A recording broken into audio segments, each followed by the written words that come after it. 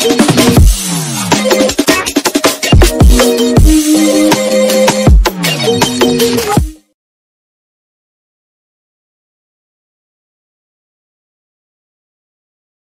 friends, how are you?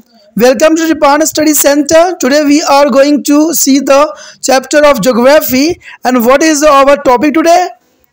Wind energy. The wind energy is the most important here. The wind can be used as a source of energy in those regions where a strong and constant wind flow. The blow is throughout their ear. You know that the wind energy is the most important here. The wind energy can be used for a pumping, water for irrigation and also for generating electricity. India has about a 45,000 megawatt extremely wind power potential. This is most most important here. 45,000 megawatt estimate wind power potential. The protective sites of generating electricity wind as have been all in Tamil Nadu, Gujarat, Andhra Pradesh, Karnataka, and Kerala. The potential that can be tapped at the present limited to be around 13,000 megawatt. But eight percent two thousand megawatt is netted through there edge been which a place India in the fifth position globally after Germany U S A Denmark and Spain there is a most important but India is a fifth position of global level year पवन ऊर्जा देखिए पवन ऊर्जा भी काफ़ी महत्वपूर्ण है, जो कभी भी खत्म नहीं हो सकती। पवन ऊर्जा को शक्ति के स्रोत के रूप में उन क्षेत्रों में विकसित किया जा सकता है, जहाँ साल भर शक्तिशाली, तेज रफ्तार वाली पवनें चलती हो।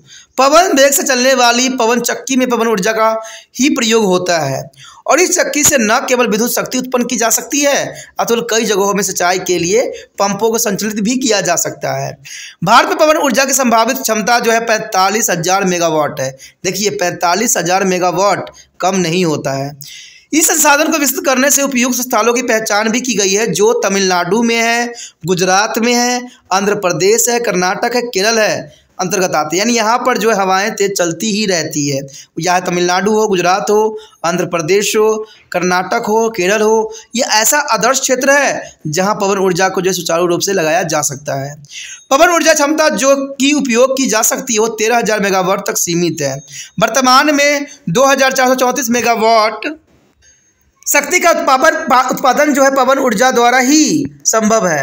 कहते हैं पवन ऊर्जा की शक्ति जो भारत में किया जा रहा है, जो कि काफ़ी महत्वपूर्ण है और इस प्रकार भारत की विश्व में स्थिति जर्मनी और संयुक्त राज्य अमेरिका और डेनमार्क स्पेन के बाद पाँचवें स्थान पे है।